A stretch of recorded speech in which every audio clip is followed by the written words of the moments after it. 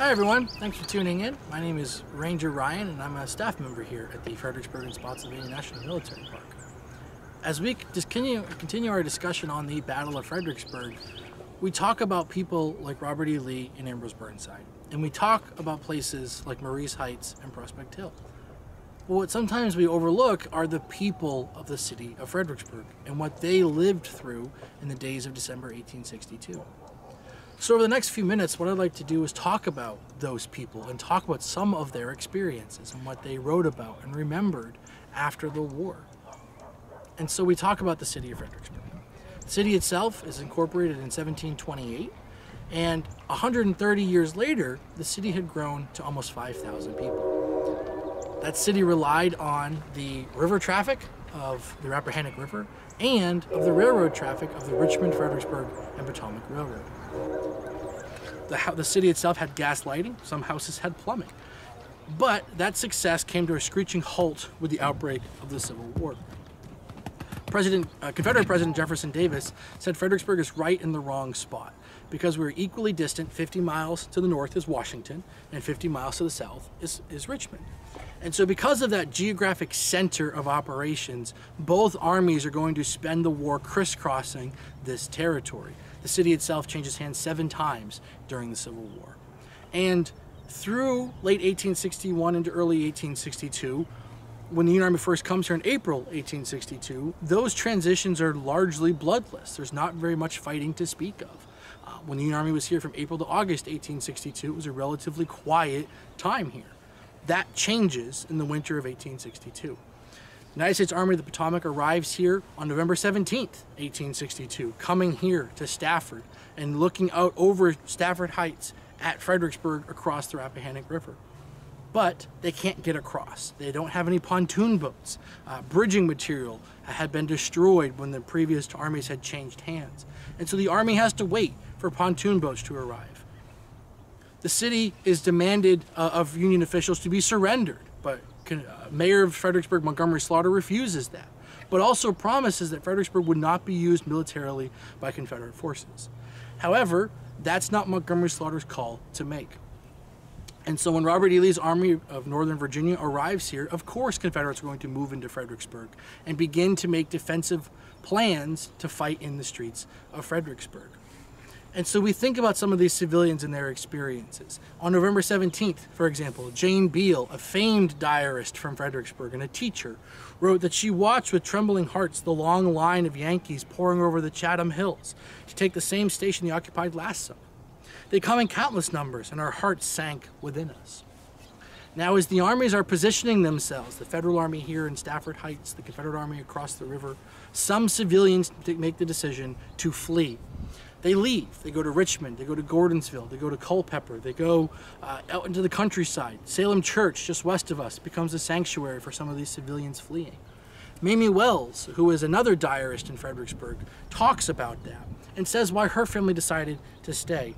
Uh, quote, because one of our household being sick with typhoid fever.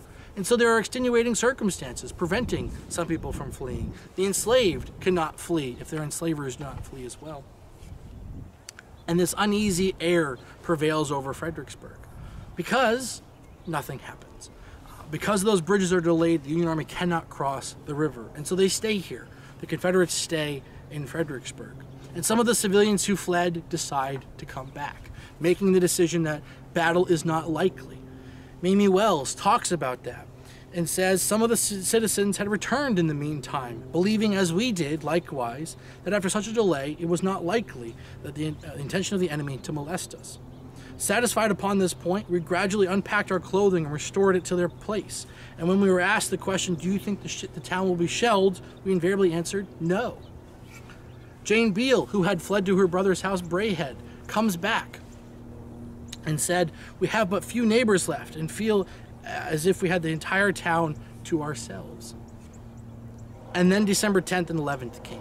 Uh, late on December 10th, the Union engineers began to push those bridges, those pontoon boats, into the river and begin construction.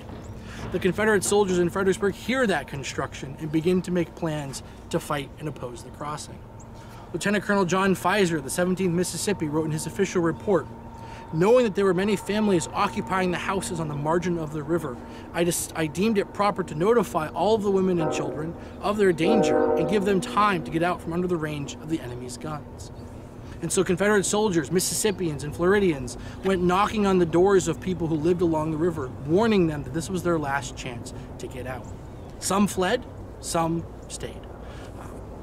And then the battle begins. Fighting begins on this river below me as Confederate sharpshooters begin to pick off engineers preventing the crossing. Union cannon on this side of the river opened fire on the city of Fredericksburg. At the height of, of the bombardment, 100 shells a minute drop into the city of Fredericksburg. As buildings catch on fire, as smoke rolls above the skyline, the Union cannoneers use the church steeples behind me to use as their targets. And the shelling continues. Jane Beale wrote about the experience. The enemy began to pour their shot and shell upon our ill-fated town. Her son is wounded by some of the shrapnel and debris flying through the air. Mimi Wells, who lived on Sophia Street, continues. The flash of one cannon after another as they were arranged along the hills beyond, lighting up the scenery around, and the deafening shouts that followed were sights and sounds which the novel spectator must have viewed and listened to with eager eyes and ears. It was a beautiful but awful sight. A man who lived on William Street, Edward Heineken, continues that description, talking about the, the shelling we had hardly gotten up from breakfast when a big shell passed through the dining room, knocking off one leg of the table from which we had just risen. Thirteen shells struck that comparatively small house. From early in the morning until dusk raged the tremendous noise of battle. The roar of artillery, the roll of musketry, the fall of slate and chimneys, the crack of branches torn from many shade trees, the screaming of shells high up in the air. And still, the Wells family remained. Edward Heineken flees, Jane Beale flees, the Wells family stays in their basement, and Mamie Wells is the only known account uh, who stays in Fredericksburg the entire battle. And she says, beside her own family of 10, several poor outcasts sought shelter with us. Over the day, Union soldiers begin to cross the river. They row themselves across, and they fight house by house, block by block, clearing the city of Fredericksburg with, with Fredericksburg in Union hands, Union soldiers take out their frustration. They have been pent up here on Stafford Heights for nearly a month, and they begin to loot the city. They trash homes that were unoccupied. The Wells home was largely left alone because of the fact that the Wells family remained. But she talks about this. Mimi Wells talks about this and says, But that night, the pounding at our doors, the peering in the cellar's windows by eyes red with intoxication, the oaths and curses, the ringing of axes and hammers, breaking in the tenantless houses. The streets were literally packed with soldiers in a complete state of moral demoralization. It's important to realize at this point that we are, of course, quoting white accounts from largely Confederate supporting citizens their experiences are going to be different from Unionists or African Americans in the city of Fredericksburg. Our problem, of course, is we do not have accounts from those people. Uh, accounts from Unionists are lacking, accounts from African Americans are lacking. Um, we simply do not know what they thought about this battle or what they what their actions were to this battle. Uh, and so we're left with an incomplete picture, trying to fill in the blanks around the situation. And the battle continues on December 13th as Union soldiers famously attacked the stone wall at Marye's Heights uh, and then come streaming back in defeat. Mimi Wells, again, is left to talk about it. And these, these days of action, these days of consequence, December 11th, 12th, 13th, 14th, and 15th. And she summarizes. First, the terrific bombardment, followed by the night of plunder. Second, the day of destruction and carnage, accompanied with shells from Confederates, and the night of raillery and carousing. Third, the day of the battle, and the night in which the cries of the wounded rent the air in piteous groans. Fourth, the day in which the wounded were borne through the streets on litters and in ambulances, with the blood dripping from their mangled bodies. And another night in which the mind gathered no rest. By the time the Union Army retreats across the river back to here, back to Stafford Heights on December 15th, Mamie Wells is left to guess every fifth house had been occupied as a hospital, and there were many dead bodies to be found in these dwellings. 10% an estimated of the city is destroyed during the Battle of Fredericksburg. Houses along the river's edge were bombarded into dust and rubble. And yet, for all of that, we know of only two civilians who were killed during the battle. Uh, one was a boy named Jacob Grotz, who was killed in their shell fire, and another, Mary Price, or Pryor, an enslaved woman who was killed in the bombardment on December 11th. Other accounts claim other civilians, but those are largely unsubstantiated.